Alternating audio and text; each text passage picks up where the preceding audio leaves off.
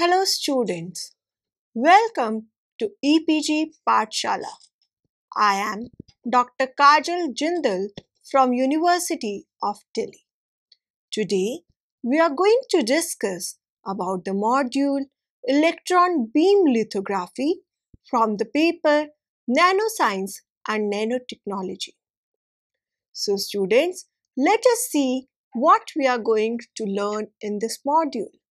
In this module, the nanoparticles are described and the classification is discussed. Also, the influence of size of nanoparticles on the properties is studied in details. In addition, the possible health risks which are posed by frequently used nanoparticles are discussed in this module. Finally, the application of nanoparticles in various diverse fields are discussed over here. What are basically nanoparticles? The particles which are ranging from 1 to 100 nanometer in size are termed as nanoparticles. In nanotechnology, the particle is an object which acts as a complete unit with regard to its properties. Individual molecules are not regarded as nanoparticles. Rather, these are the particles which demonstrate size dependent properties. The properties of a nanoparticle substantially differ from those of bulk forms of the same materials. Now, what are nanoclusters?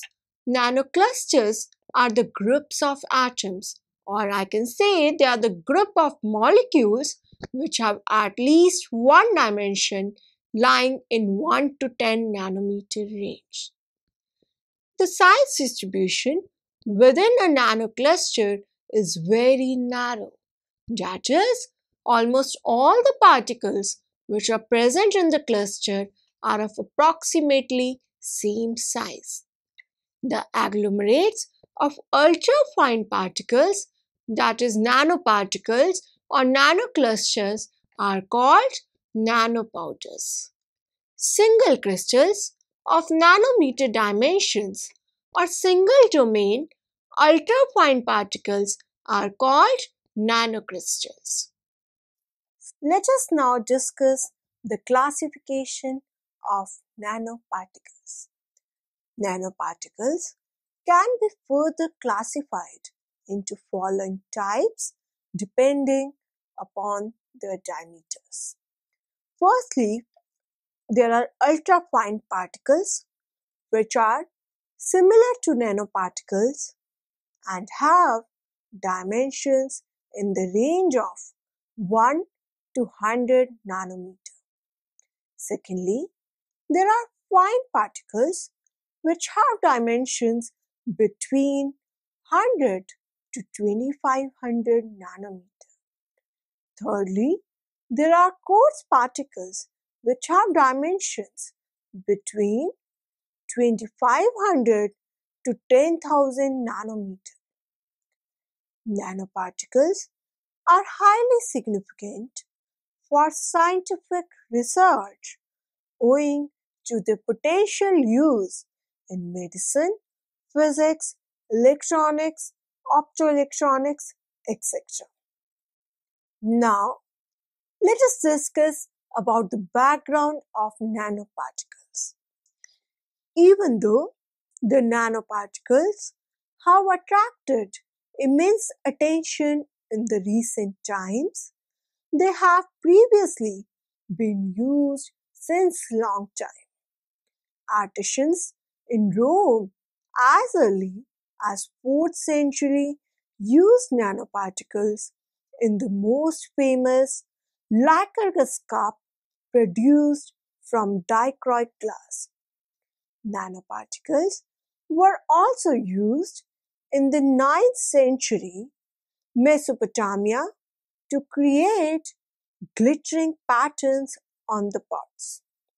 In modern history, gold and copper based patterns have been used in potteries during Middle Ages as well as Renaissance. The luster is usually from a metal film applied to the transparent surface of a glazing. If film is resistant towards oxidizing agents such as oxygen, the luster is still visible. The optical behavior of nano-sized metals was first described by Michael Faraday in his 1857 paper. Later, Turner pointed out that when thin film of metals such as gold and silver are coated over glass and they are annealed at around 500 degrees centigrade, the properties of the metal film changes and the film is no longer continuous. These changes led to the enhanced transmission of white light, reduced reflection, and enormous increase in resistance of the films. Let us now discuss some astonishing facts about nanoparticles. Nanoparticles are essentially a bridge between atoms or molecules and the bulk form of material. The bulk materials demonstrate constant physical behaviors regardless of the size of the object. However, on the contrary, nanoscale materials exhibit size dependent properties and in most cases these properties are remarkably different from the bulk counterparts. Therefore, as discussed, firstly, the size of a material approaches nanometer scale for nanoparticles. And secondly, the surface to volume ratio increases for nanoparticles. So, the ma materials undergo changes in the properties. On the other hand, in bulk materials, the bulk materials are usually larger than 1 micrometer in size and in that case the ratio of surface to the volume of the material is negligible. Thus, it may be concluded that the astonishing properties of nanoscaled materials are caused by the larger surface area of nanoparticles and the surface dominates the behavior of such particles. Since nanoparticles are very small, they confine the electrons, thereby causing quantum effects. Thus, the optical properties of nanoparticles are highly unexpected. For instance, gold nanoparticles can have deep red to black color depending upon their size. The gold nanoparticles have very low melting points, about 300 degrees centigrade for the nanoparticles of 2.5 nanometer dimensions than the bulk gold which corresponds to 1064 degrees centigrade. Nanoparticles have high absorption coefficients towards solar radiation than thin films of bulk materials. By adjusting the size, shape, and composition of the particles, the solar absorption of the material can be controlled. Recent experiments have shown a zero word scattering and improved forward scattering in core that is metal, shell that is dielectric nanoparticles. Both electric as well as magnetic resonances can be supported by core shell nanoparticles, thus exhibiting novel properties in comparison to pristine metallic nanoparticles.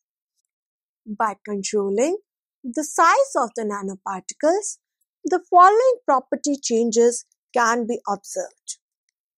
Firstly, the quantum confinement in nanoparticles that are made from semiconductor materials. Secondly, surface plasmon resonance in certain metallic nanoparticles. Thirdly, evolution of superparamagnetism in magnetic materials. In addition to these desirable changes, some undesirable changes can also occur at the nanoscale. For example, nanoparticles which are less than 10 nanometer made from ferromagnetic materials change the direction of the magnetization using room temperature thermal energy, thereby making them unsuitable for information storage applications. Owing to their large surface areas, the interaction of nanoparticles with solvent can overcome the density differences. Thus, suspensions of nanoparticles can be formed. Without this property, the materials either sink or float in a solvent. The incorporation of clay nanoparticles in polymers increases the strength of the resulting plastics. This has been supported by higher glass transition temperatures observed in these plastics. Additionally, mechanical tests have also demonstrated high stiffness of such materials. This happens because the hard nanoparticles transfer their favorable properties to the polymer host matrices. The applications of nanoparticles in textiles are important to prepare smart and functional clothes. Nanoparticles have been prepared from various materials such as metals, dielectrics, semiconductors. In addition to this, hybrid structures such as core shell nanoparticles have also been prepared. Semiconductor nanoparticles are also termed as quantum dots, and the size as are also termed as quantum dots when the size is small enough, usually less than 10 nanometer, to demonstrate quantization of energy levels. These nanoparticles have diverse applications in medicine as drug carriers or imaging agents. Figure 1 shows a semiconductor quantum dot of approximately 5 nanometer of lead sulfide passivated by oleic acid, oleylamine, and hydroxyl ligands. Semi-solid and soft nanoparticles can also be fabricated. An example of semi-solid nanoparticles is liposome. Liposome nanoparticles can be used as targeted delivery agents for anti-cancer drugs as well as vaccines. The surface of nanoparticles can be modified to work as hydrophile as well as hydrophobic. That is, one half is hydrophobic and the other half is hydrophilic. Such particles are called as Janus particles and are very effective in stabilizing emulsions. They can self-assemble at water or oil interfaces and act as solid surfactants. Let us now discuss some specific applications of nanoparticles. We will first discuss the application as surface coatings in biological field. The surface of the nanoparticles should be polar to provide good aqueous solubility and also they should prevent the nanoparticle coagulation. Highly charged surfaces lead to non-specific interactions while the polyethylene glycol terminated cells avoid non-specific bindings. Biomolecules can be attached to the nanoparticles to direct them to specific sites in the body, even specific organelles in a cell or to monitor individual protein or RNA molecules. Most commonly used tags to mark the nanoparticles include monoclonal antibodies, aptamers, streptavidin, or peptides. These tags must be attached with the nanoparticles covalently and also the quantity per nanoparticles must be controlled for efficient operation. Multivalent nanoparticles have several tags attached to them, which may cause the clustering. This activates the cell signaling paths, giving stronger anchoring. On the other hand, monovalent nanoparticles bear single binding sites. Thus, they prevent the cluster formation. These nanoparticles are suitable to track the behavior of individual protein molecules. Next important application of nanoparticles is in the field of health and safety. There are various speculations, both medically as well as environmentally, that nanoparticles are hazardous.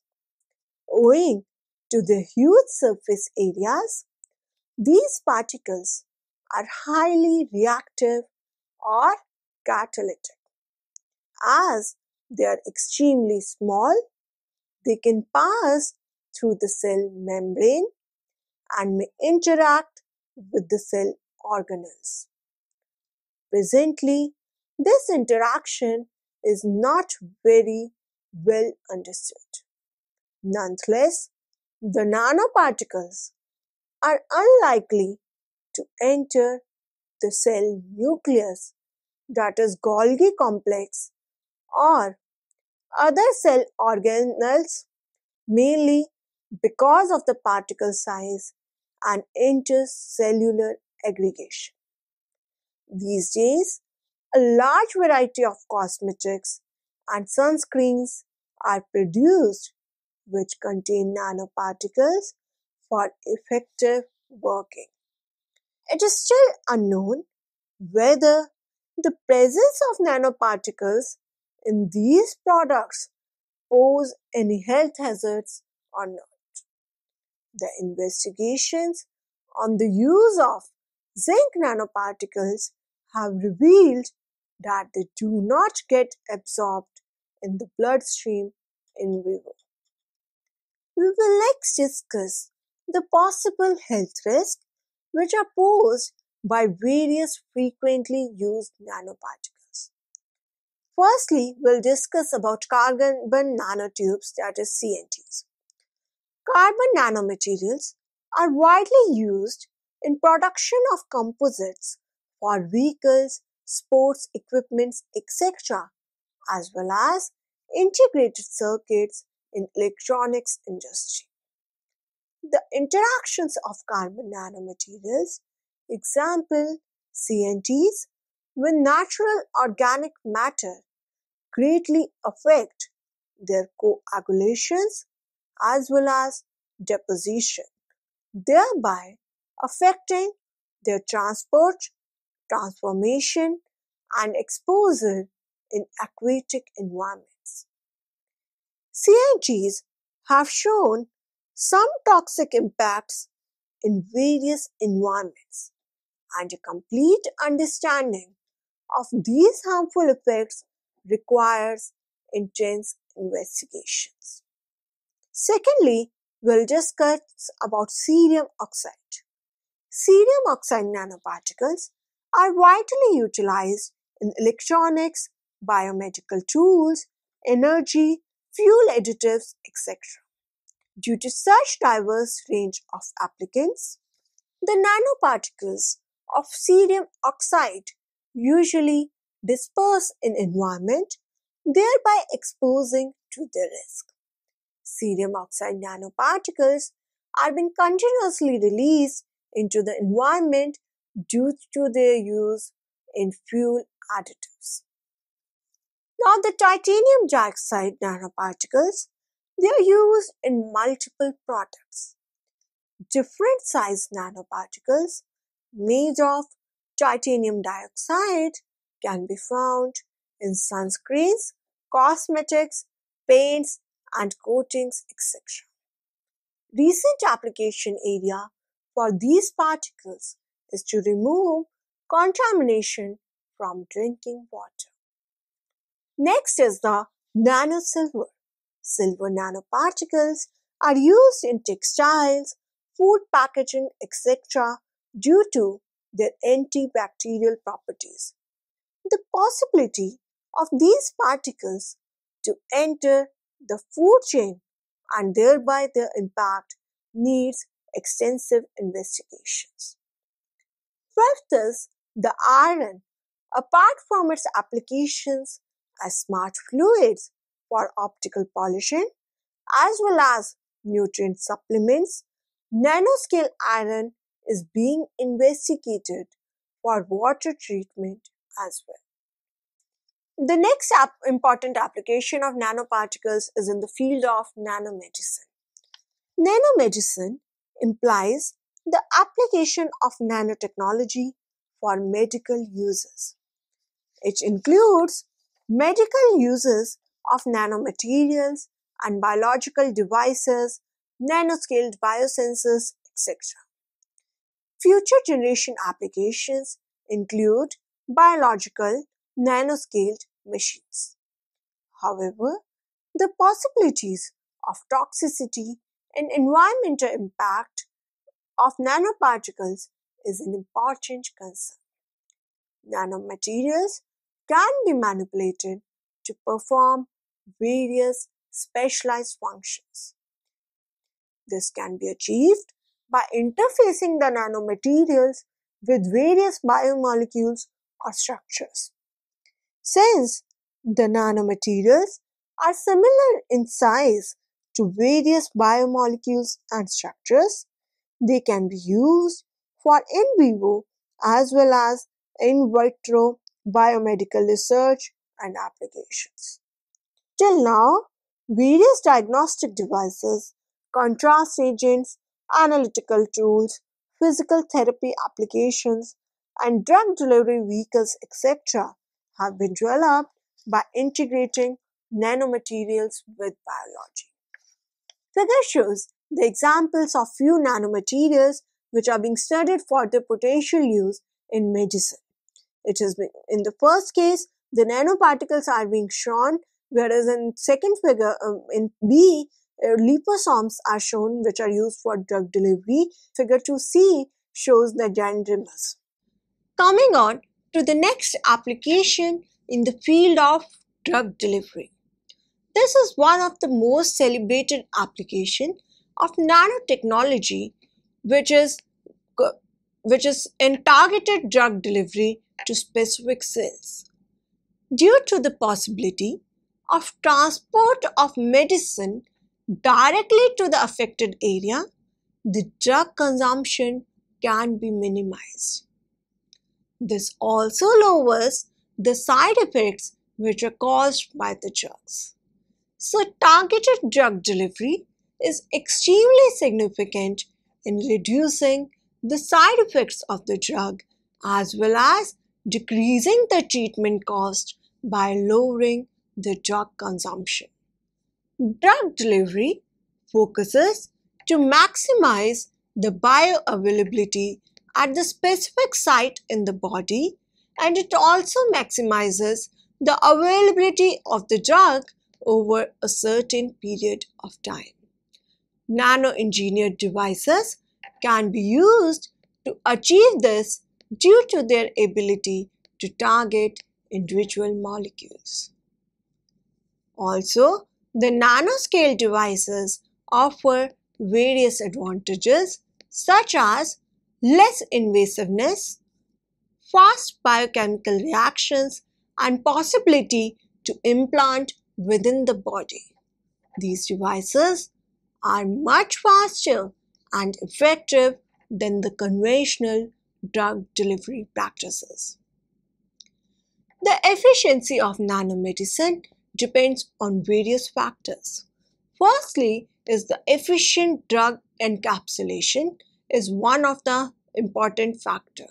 Secondly, the successful transport of the drug to specific site is important.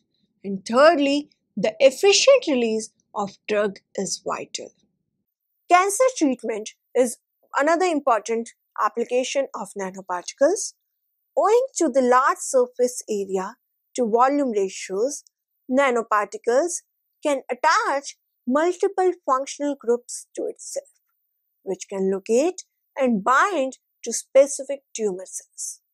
Furthermore, the small size of nanoparticles, that is 10 to 100 nanometer, allows them to preferentially accumulate at tumor sites as tumors lack an effective lymphatic drainage system.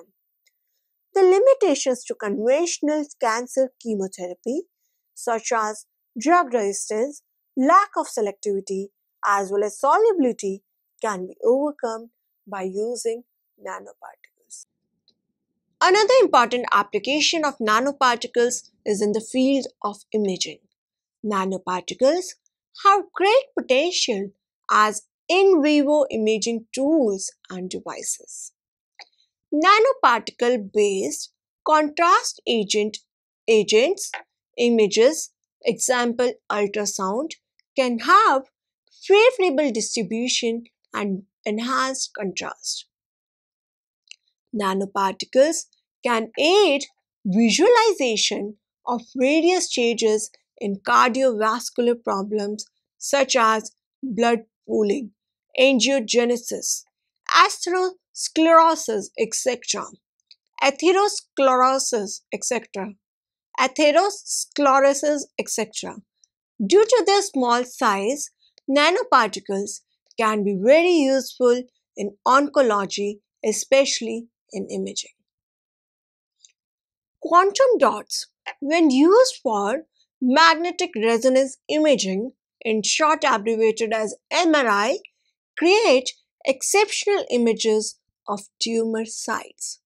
Cadmium selenide nanoparticles glow on exposure to ultraviolet light. So, when injected, they enter the cancer cells, thereby highlighting them.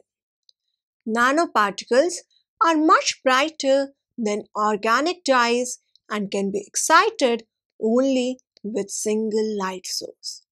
Thus, use of fluorescent quantum dots can create much higher contrast images at lower cost in comparison to organic dyes.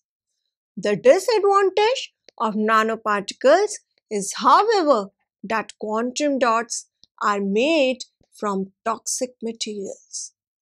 Coming on to the application of sensing, we know that nanotechnology on a chip is analogous to the lab on a chip technology. Sensor test chips containing thousands of nanowires are able to detect proteins and other biomarkers left behind by cancer cells could enable the detection and early diagnosis of cancer in the early stages from a few drops of a patient's blood. So, students, let us summarize what we have learned in this module.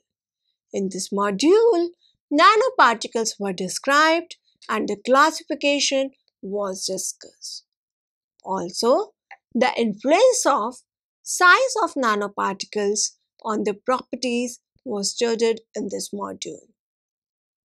In addition, the possible health risks which are posed by frequently used nanoparticles were discussed in this module. Finally, the applications of nanoparticles were highlighted. Thank you students for your attention.